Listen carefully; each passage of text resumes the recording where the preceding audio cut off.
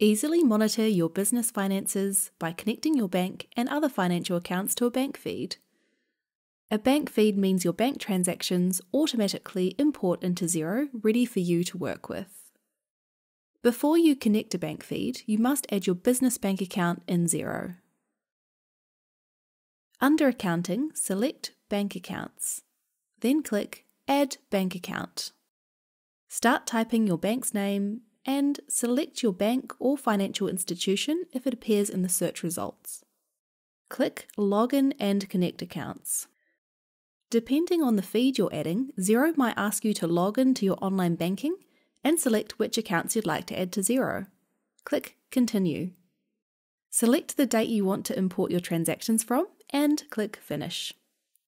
Bank statement lines will appear, ready for you to reconcile. Depending on your bank, this might be right away or a couple of days later. This process can vary from bank to bank. Some banks require different ways of authorising the connection to Xero.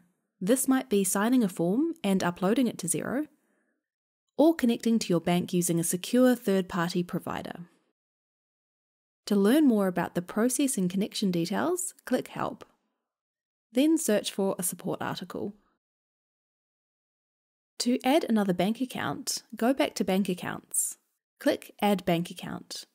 If Xero hasn't got live feeds for your bank yet, you should still add it. Select Add it anyway and enter the details. Then download bank statements from your online banking and manually import them into Xero.